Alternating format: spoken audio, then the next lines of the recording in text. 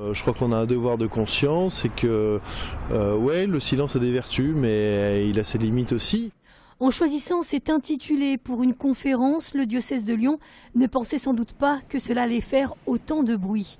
La réunion qui a lieu ce soir dans la basilique de Fourvière prône en effet les vertus du silence, un thème plutôt déplacé pour l'association La Parole Libérée, c'est la même qui depuis plusieurs mois a révélé de nombreuses affaires de pédophilie, des affaires longtemps ignorées par l'Église. On arrive à un tel niveau de déception euh, par cette institution jusqu'à son, plus haut rang. Ces vœux de silence, euh, euh, faut faire attention avec ces choses-là et que, et que euh, on en voit les limites parfois. Mais au-delà du thème, c'est surtout la personnalité de l'invité qui fait débat.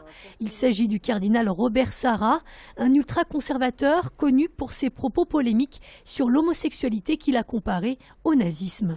Quand on fait allégeance comme ça de vertu, il faut commencer par, par les appliquer pour soi. C'est pour le moins maladroit et je pense qu'il aurait été intéressant qu'il choisisse un autre diocèse que celui de, de Lyon pour, euh, pour saluer les vertus du- du silence.